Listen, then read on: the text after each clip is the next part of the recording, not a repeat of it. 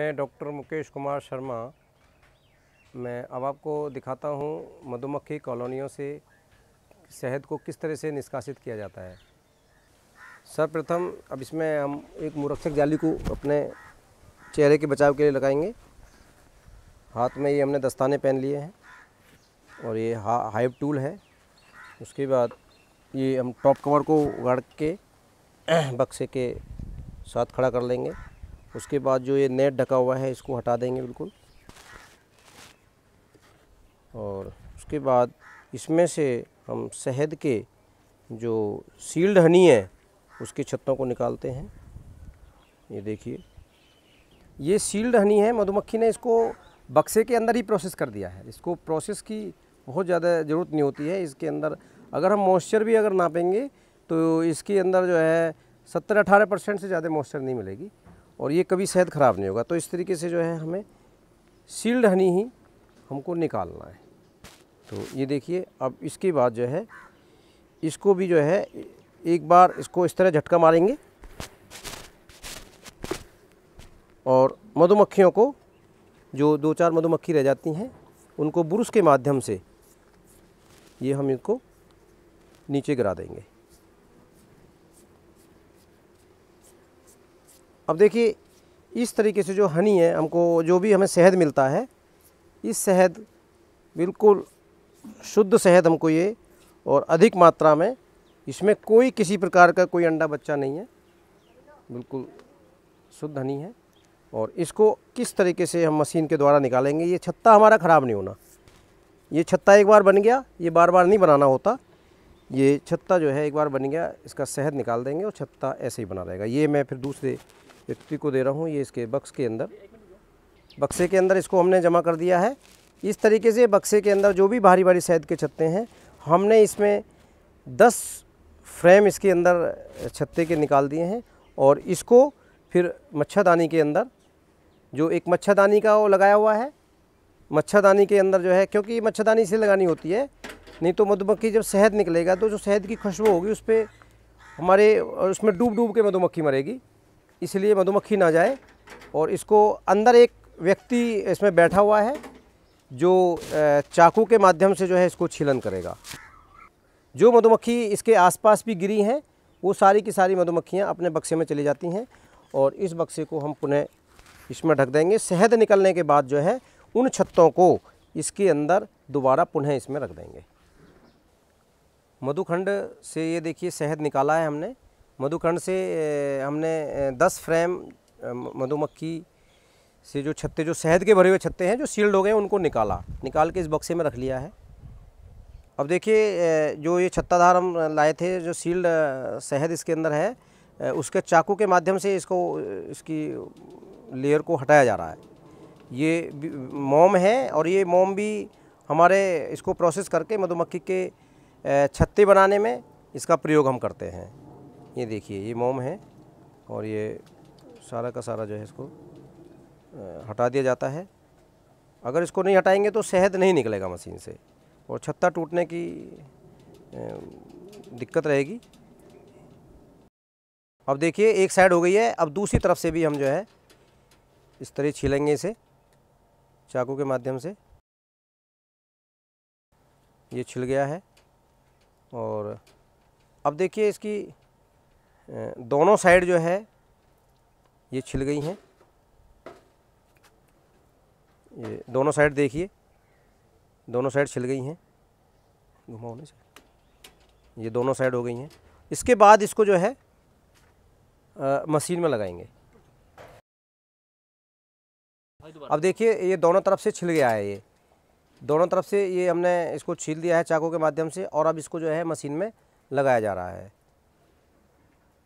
अब देखिए, ये शहद निष्कासन मशीन है। ये एसएस की होना ज़रूरी है। ये स्टेनलेस स्टील की होती है और इसके अंदर ये ये छः फ्रेम रखने के इसमें खांचे बने हुए हैं। ये छत्ते जो लगा दिए गए मशीन के अंदर और मशीन को घुमाया जा रहा है। मशीन को आप धीरे धीरे चक्करों को बढ़ाना है।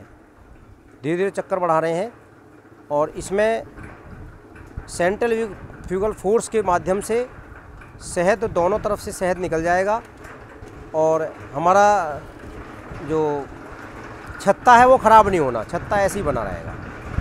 अब देखिए एक साइड का शहद निकल रहा है। अब मशीन को रोकेंगे। अब एक साइड से शहद निकल गया है। अब दूसरी साइड को घुमाएँगे, क्योंकि दो साइड होती हैं छत्ते की। तो दूसरी साइड से इसको उल्टा घुमाते हैं। तो देखिए, अब दूसरी साइड से शहद निकल जाएगा।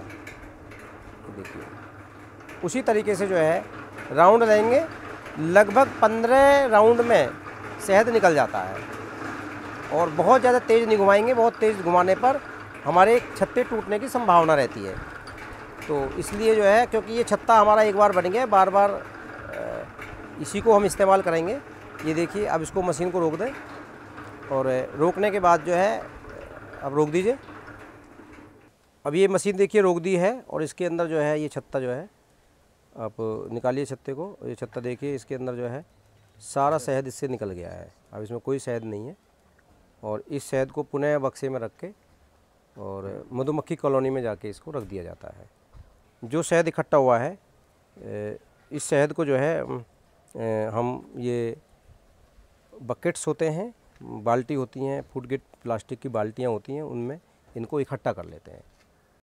ये भिगोना, इसके अंदर पानी भरा हुआ है पानी, क्योंकि शहद को कभी भी डायरेक्ट हमें गर्म नहीं करना। यदि शहद को हमने डायरेक्ट गर्म कर दिया तो वो शहद जो है, उस, वो सीरा बन जाएगा। क्योंकि उसमें ग्लूकोज होता है ग्लूकोज के कण उसमें ख़त्म हो जाते हैं टेम्परेचर के डायरेक्ट टेम्परेचर देने से। इसलिए पानी गर्म होगा, तब हमारा शहद गर्म होगा। इस प्रक्रिया में जो है, और हमने इसमें एक लकड़ी का गुटका डाल दिया ये। लकड़ी के गुटका डालने के बाद फिर एक छोटा भिगोना लेना जो इसके अंदर आ जाए, और उसको इसमें रख देना है। और ये बर्तन हमें ऐसे स्टेनलेस स्टील के ही प्रयोग करने होते हैं। और ये इसमें रख दिया। रखने के बाद जो है, फिर इसके अंदर जो है, हम इसमें शहद डाल देते हैं। ये शहद डाल दिया है। इसके बाद जो है, इसके अंदर गैस जला देते हैं। ये गैस जला दी है। गैस जलाने के बाद जो है, इसको चलाते रहेंगे। और जब ये शहद गर्म हो जाएगा तो इस शहद को 50 डिग्री तापक्रम पर ही इसको गर्म करेंगे। इससे ज़्यादा नहीं देंगे, क्योंकि 50 डिग्री टेम्परेचर पे जो है, शहद की गुणवत्ता ख़त्म हो जाती है। अब ये एक थर्मामीटर है, इसके द्वारा इस शहद का जो तापक्रम है, उसको हम जाँच कर रहे हैं। ये देखिए, इसका तापक्रम ये 50 डिग्री सेंटीग्रेड हो चुका है, और अब ये शहद ये प्रोसेस हो गया है। अब इस शहद का तापक्रम जो है, वो 50 डिग्री हो गया है और अब इसको जो है एक एसएस के ड्रम में, उसमें हम बरीक साफ़ कपड़ा लेके उसको जो है दो तीन लेयर में उसे बाँध के ड्रम से और उसको छानेंगे।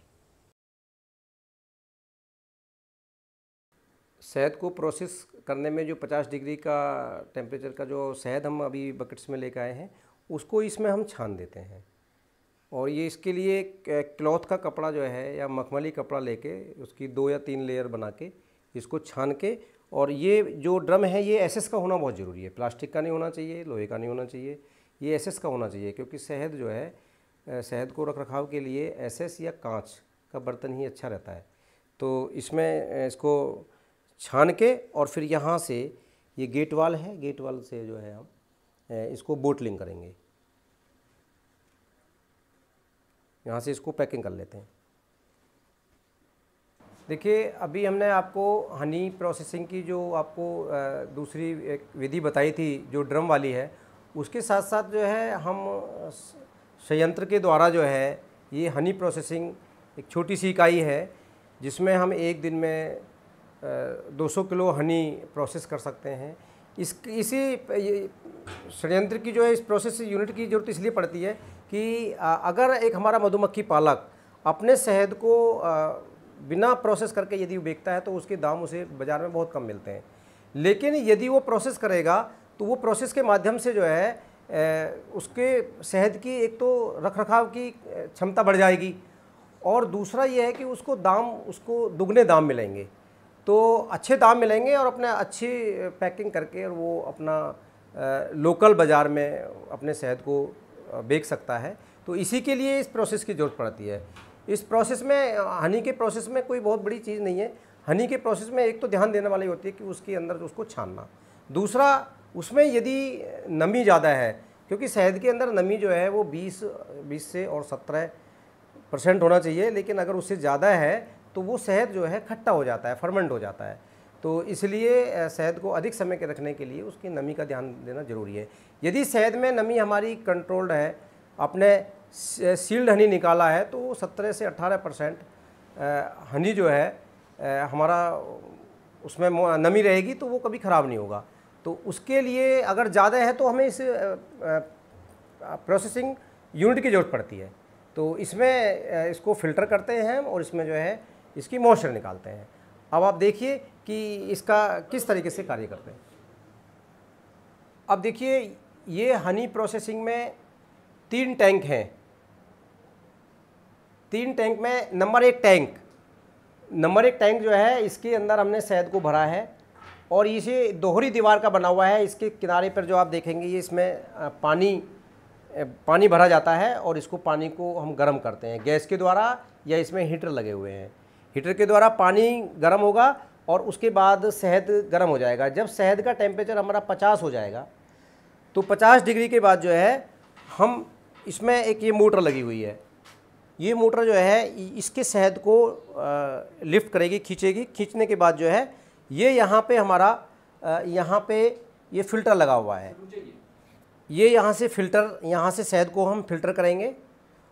और इस फ़िल्टर होने के बाद टैंक नंबर दो में हमारा शहद आ जाता है।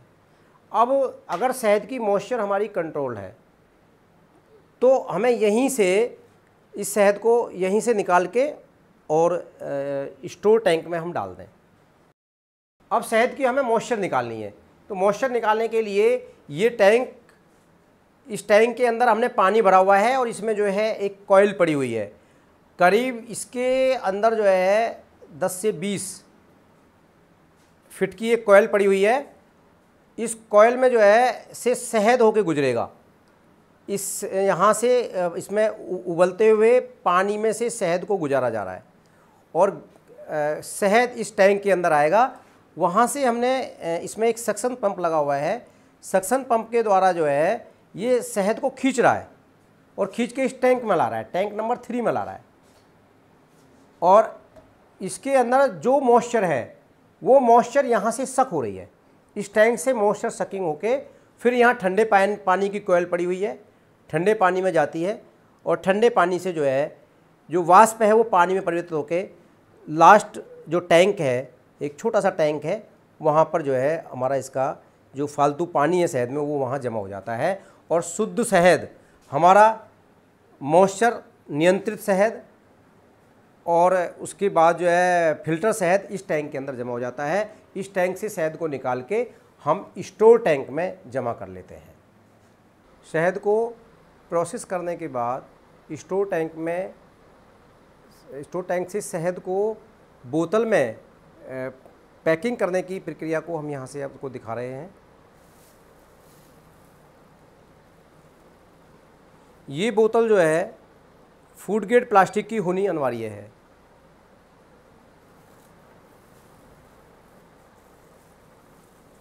अब इसमें शहद जा रहा है और उसके बाद इसको भरने के बाद इसका वेट कर लेंगे। एक के जी इसका वेट करना है हमको। बोतल से अलग एक किलो इसमें हम शहद डालेंगे। बोतल का शहद अलग से फ़ीड किया हुआ है इसके अंदर। अब ये इसका ढक्कन टाइट से ढक्कन लगा देंगे। अब हम स्टोर टैंक से शहद को बोटलिंग करने की प्रक्रिया को जानेंगे। शहद को बोतल में पैक करने के बाद सील करने की प्रक्रिया यहाँ से दर्शाई जा रही है। अब देखिए ये बोतल जो है, सील हो गई है। ढक्कन खोला जा रहा है इसका। देखिए, ये सील हो गई है अब इसमें से शहद लीक नहीं करेगा।